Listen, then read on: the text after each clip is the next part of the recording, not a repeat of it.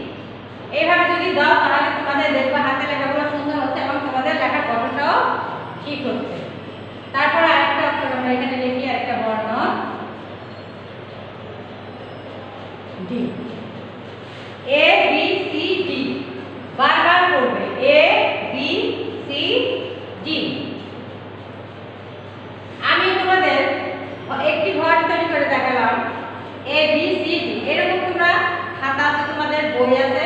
সেই বইগুলোর মধ্যে রোল টানা আছে রোল টানা, সেই খাতাগুলোর মধ্যে বা বইগুলোর মধ্যে এগুলো বারবার বারবার লিখবে। এ বি সি ডি সেগুলো হলো শুধু এ বি সি ডি এই চারটা অক্ষর নয়। A B C D E F G A হইতে এ পর্যন্ত বুঝেছ? এ হইতে এম পর্যন্ত এই যে বড় হাতের অক্ষরগুলো, এইভাবে তোমরা রোল টেনে টেনে লিখবে। এই লেখাগুলোকে তোমরা খাতায় বারবার না লিখলে হাতে আসবে না। এবিসিডি এই পর্যন্ত লিখে নিয়ে সেগুলাকে দেখো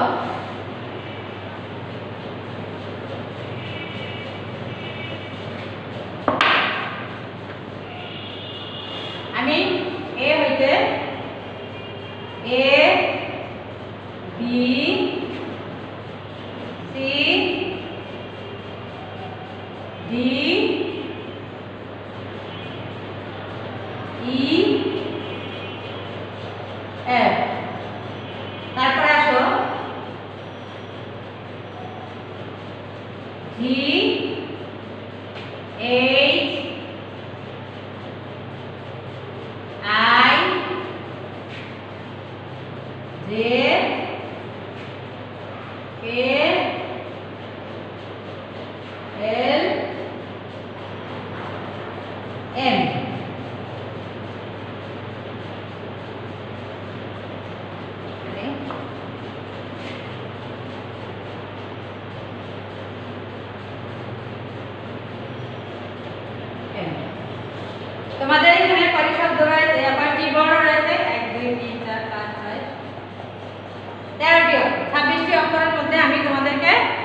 ছাব্বিশটি বর্ণের মধ্যে তোমাদেরকে অর্ধেক করে দিয়েছি।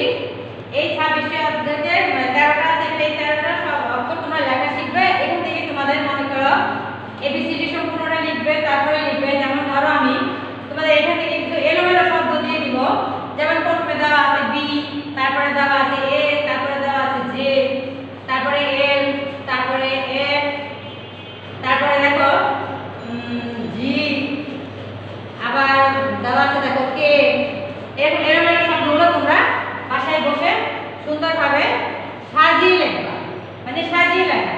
এটা হলো সাজিয়ে লেখা। সাজিয়ে লিখো। এরকম ভাবে। যেমন মনে করো, প্রথমে আমি দিব এ, তারপরে এ, বি নিয়ে আসব। এখানে বি, তারপরে সি আছে। দেখো, সি। তারপরে ডি নাই। করবা, করার পর সিরিয়াল ভাবে সি, ডি নাই। কি আছে? ইও নাই। এক আছে সি ডি নাই কিন্তু এখানে রয়েছে কি? এ তারপরে আছে কি? জি বুঝে বুঝে আমরা এগুলোকে মিল করব। জি তারপরে আছে দেখো এইচ নাই আই নাই এইচ আই জে আছে। এই যে জে জে তারপর আছে কি? দেখো তো জে পরে কে কে তারপর আছে, কোথায় গেল? এ এই কয়টা অক্ষরই তোমরা এইভাবে মানে পরপর যে শব্দগুলো মানে যে অক্ষরগুলো বা বর্ণগুলো আছে, সেই বর্ণগুলোই তোমরা সাজিয়ে যাবে।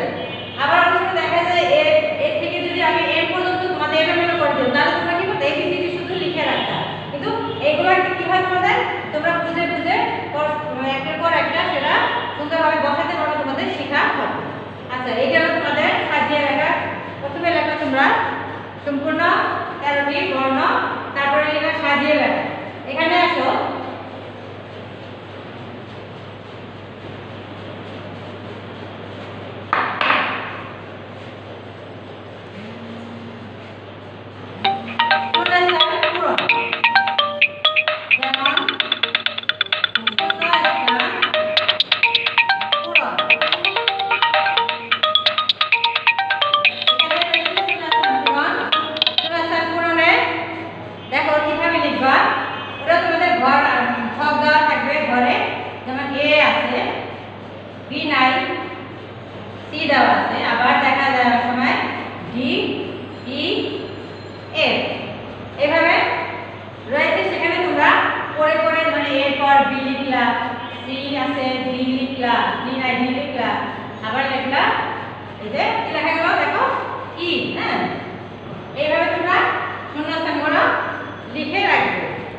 শিখবে। তারপরে আবার আসো দেখো।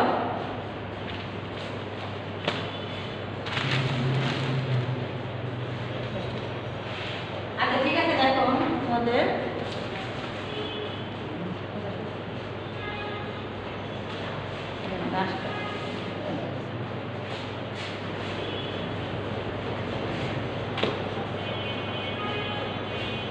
এটা হলো শূন্যস্থান পূরণ এটা গেল শূন্যস্থান পূরণ। তারপরে আসো তোমাদের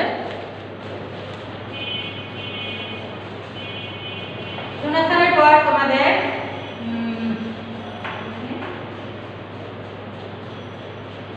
পাশের বর্ণটি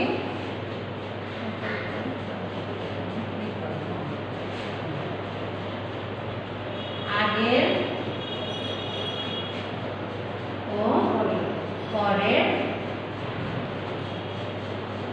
বর্ণটি লিখো ছক এঁকে দেওয়া থাকবে। যেমন মনে করো একটি ঘর।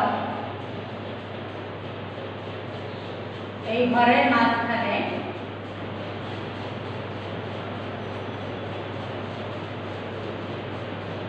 এই ঘরের মাঝখানে যেমন আমি এক একটা বর্ণ বসাবো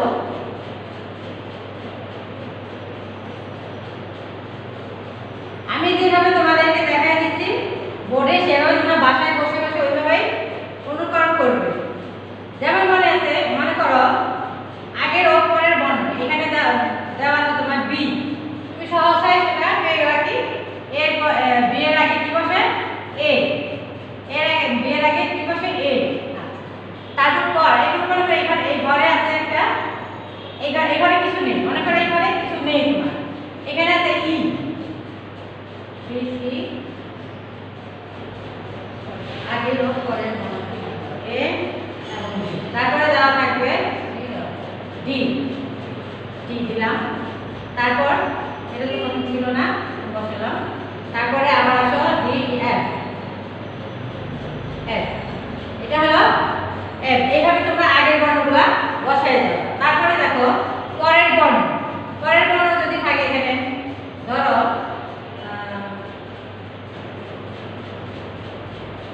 জি আছে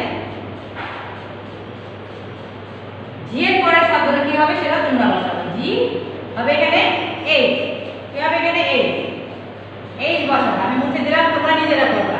এই তারপরে আবার আসো আই আই দেওয়া থাকবে। আই তোমরা লিখবে এখানে জে জে আই এখানে লিখবা জে তারপরে মনে করো এখানে কে আছে। কে থাকে তোমরা আবার পরের শব্দে লিখবা এল এভাবে। এবার তোমরা আগের এবং পরের বর্ণগুলি বসানো থাকবে, সেগুলো আমরা খাতার মধ্যে যখন থাকি প্রশ্ন, তোমাদের প্রশ্ন আকারে অক্ষরগুলা বা বর্ণগুলা বসাই দিব, সেই বর্ণগুলাকে তোমরা দেখলে বুঝতে পারবে। ওই ছকের ছকের মাধ্যমে যেটা ভাগে দেওয়া থাকবে আগের এবং পরের বর্ণগুলি, সাজিয়ে রাখবে তখন তোমরা সুন্দরভাবে এগুলা লিখে নিতে পারবে। তোমরা বই ফলো করবে, একটা বই কিনে নিবে শিশুদের। Alphabet, writing children's alphabet writing একটা বই যে কোনো দোকান থেকে তোমরা এটা খুঁজে পাবা ওটা কিনে নিয়ে একটু ফলো করবে এবং হাতের লেখাগুলো বাসায় শিখবে আর সাজিয়ে রাখা শিখবে, বর্ণগুলো ভালো করে শিখলেই তোমরা অন্যান্য বিষয়গুলো লিখতে পারবে। তাহলে আজকে এখানে শেষ করছি। তোমরা ভালো থেকো, পরবর্তী আবার থেকে তোমার সাথে দেখা আল্লাহ হাফেজ।